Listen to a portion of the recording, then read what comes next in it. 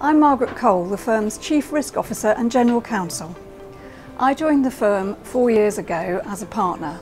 Before that, I was Managing Director of Enforcement and Financial Crime at the UK's Financial Services Authority. I was there for seven years, throughout the years of the financial crisis. In my home life, I'm a keen horse rider and I compete in one-day events comprising dressage, show jumping and cross-country. I have responsibility for legal matters, risk and quality, compliance, reputation and regulation. In the next year, my focus will be on business as usual, protecting the firm's interests, but I'm also going to put a focus on improving the efficiency and effectiveness of all the functions I lead.